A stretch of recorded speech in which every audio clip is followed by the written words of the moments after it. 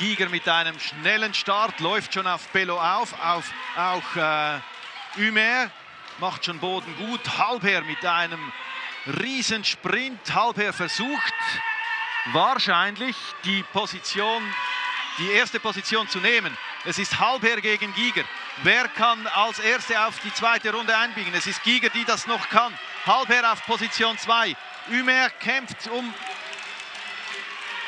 den Windschatten hinter Giger. Halbherr jetzt geschlagen. Kann Halbherr ihre Position gegenüber Bello noch verteidigen? Vorne Giger.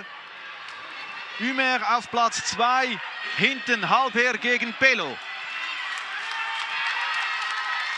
Giger zieht vorne weg. Bello kommt noch einmal auf. Halbherr ebenfalls. Es geht um 53, 66 für Jasmin Giger als Siegerin.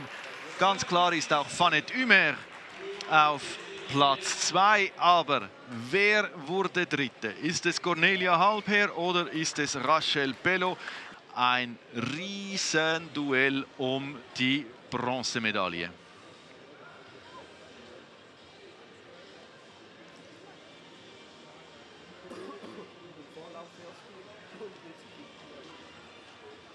Während wir hier noch die zweite Runde sehen.